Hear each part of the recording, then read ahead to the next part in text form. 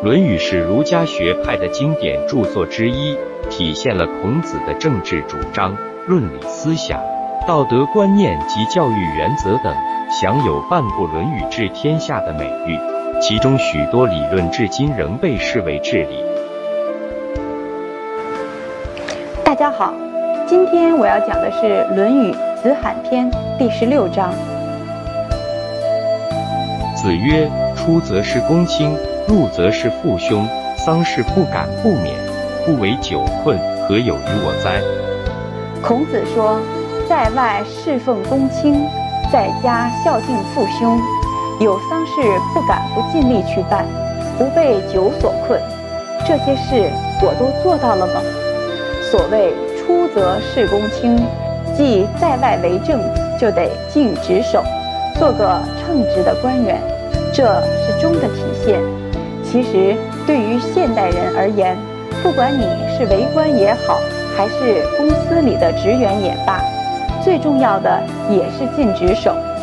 入则事父兄，说的是在家就得尽心尽力地孝敬父母，友爱兄弟姐妹，这是孝的体现。正所谓百善孝为先，孝悌本来就是儒家文化的核心理念。对于个人来说，则是立足于这个社会的根本。出则事公卿，是为国尽忠；入则事父兄。是为长辈尽孝，忠于孝是孔子特别强调的两个道德规范。于小家有孝心，于国家则忠心，只是对象不同，但归根结底则是人心。为人必须从孝悌入手，孝悌是人之本，而孔子本人就是这方面的身体力行者。话说北魏末年。突厥人常派兵侵扰中原，北魏朝廷为了对抗突厥，大量征兵。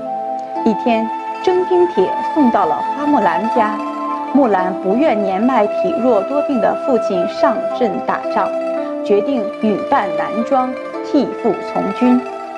木兰虽为女儿身，却从小读兵书、学武艺，因此在战场上奋勇杀敌，屡立奇功。经过长达十二年的抗战，军队凯旋回朝。木兰在谢绝了皇帝的高官俸禄后，也顺利回到父母身边，恢复了女儿身。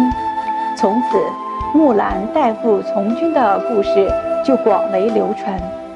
有一年，唐高宗携武则天泰山封禅还朝，路经亳州。